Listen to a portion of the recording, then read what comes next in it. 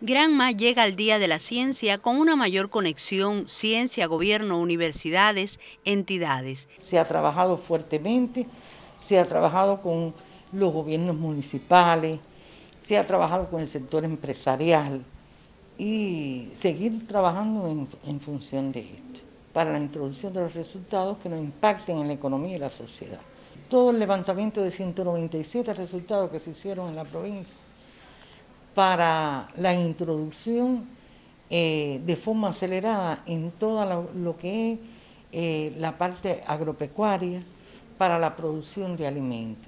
Por las características del territorio, el programa del arroz con variedades resistentes a la sequía, la producción de semillas certificadas para el incremento agrícola, en la ganadería el programa de pienso animal con plantas proteicas, entre otras investigaciones de impacto en la calidad de vida del pueblo. Se hicieron varios talleres, el Minal también, por supuesto, como un encadenamiento productivo para la producción de alimentos que hoy es nuestra prioridad.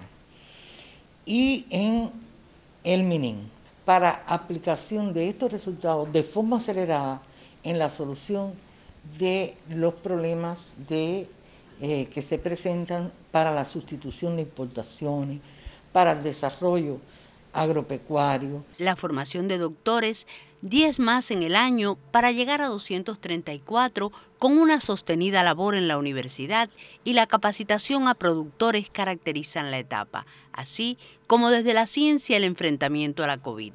Los 31 programas del territorio están acompañados por grupos de expertos ha sido significativo para la toma de decisiones y para eh, no equivocarnos en los procesos. Nuestras universidades, nuestras entidades de ciencia han estado con la mano levantada para accionar en todos estos procesos. Y nosotros semanalmente hacíamos un resumen y le poníamos en las manos a los decisores, al gobierno y al partido eh, medidas desde la ciencia que se podían aplicar en el aspecto social. Teresa Armesto, Sistema Informativo de la Televisión Cubana.